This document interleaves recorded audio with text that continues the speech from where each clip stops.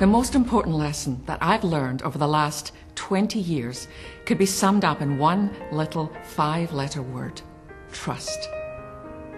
And so I want to ask you do you trust the one who's holding your life? When I was a little girl, I thought I could fly. After watching Mary Poppins, I even jumped out of my mother's bedroom window with an umbrella. And as my left ankle and her rose bushes could attest to, I can't fly. But if I was on a swing and my sister was pushing me and I had my eyes closed, I felt as if I was flying.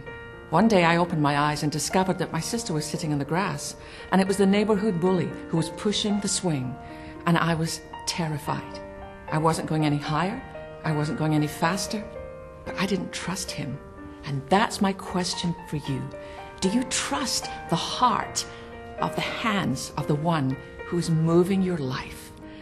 I've begun to ask myself, Lord, what does it look like if I don't trust you? I've come up with two or three things.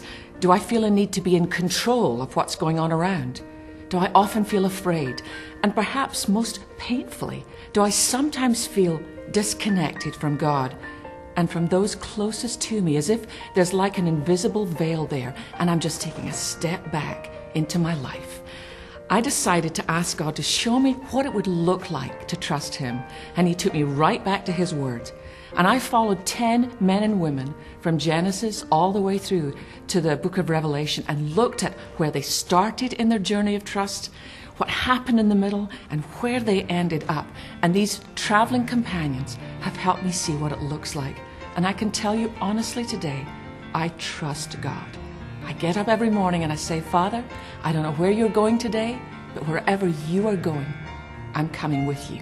And Lord, if you're pushing the swing, then all I have to say is this higher, Father.